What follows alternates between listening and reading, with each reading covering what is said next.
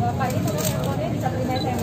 Sekali lagi kami mengingatkan untuk para tamu undangan dan peserta vaksinasi dan rekan-rekan yang sudah hadir di sini untuk tetap menjaga protokol kesehatan.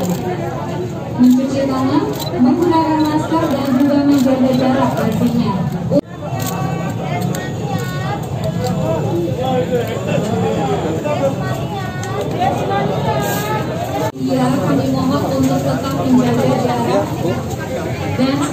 Baik pemerintah eh, provinsi dan kami pemerintah kota Medan penanganannya sama. Caranya yang eh, berbeda. Kenapa saya bilang penanganannya sudah jelas? Ada empat poin yang saya sudah sampaikan.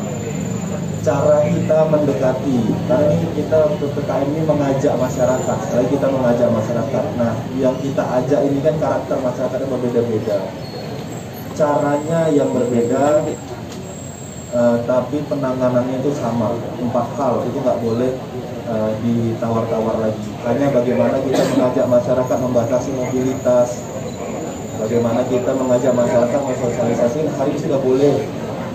Makan minum di tempat maksimal satu jam. Nah ini bagaimana kita mensosialisasikan? Itu sudah ada aturannya semua. Bagaimana hari ini saya sudah sudah kemarin Medan juga sudah mengeluarkan perwal tentang itu eh, diperbolehkan melakukan hajatan namun dibatasi. Saya sudah minta dengan ke dinas pariwisata juga ke dinas kesehatan untuk bisa menyurati tempat-tempat eh, gedung-gedung pertemuan, gedung-gedung yang biasa dipakai untuk eh, acara perkawinan atau hajatan.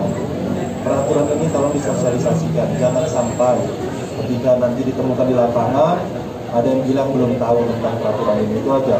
Jadi kita sosialisasikan. Caranya eh, eh, penerapannya caranya sama. Penerapannya yang berbeda. Karena eh, karakteristik masyarakatnya berbeda-beda itu.